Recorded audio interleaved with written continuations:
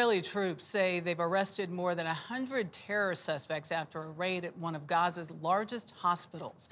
Israel claims troops found medication with the names of hostages during the raid, but none of the 130 Israeli hostages were found. Meanwhile, Israel is pressing ahead as its allies urge restraint in Rafah. Holly Williams is in Ramallah in Israeli occupied West Bank. Good morning. Israel's defense minister said yesterday that the country's military is, quote, thoroughly planning for operations in Rafah in southern Gaza. That's after President Biden reiterated a warning to Israel's Prime Minister Benjamin Netanyahu against launching an offensive in Rafah without a credible plan to protect civilians. Around one and a half million Palestinians are sheltering in Rafah but as Israel pushes ahead with plans for a ground offensive in the city, the US is planning for what comes after the Israel Hamas war, including a separate state for the Palestinians in the West Bank and the Gaza Strip.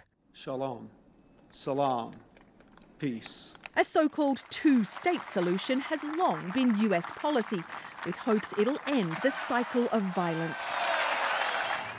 But I think the only ultimate answer here is a two-state solution. It's real.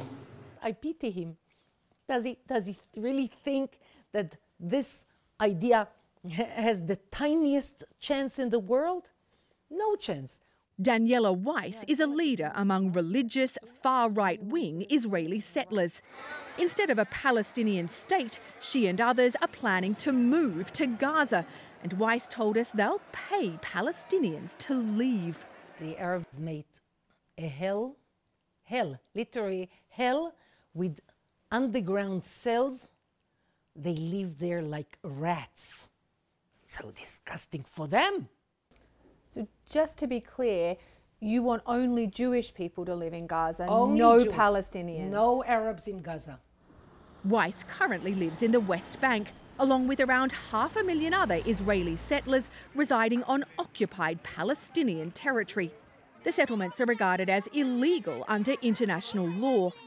But several settlers are now in Prime Minister Benjamin Netanyahu's cabinet, and some of them share Daniela Weiss's opinions. We know how to uh, manage such a big place as Gaza. We will make paradise out of it.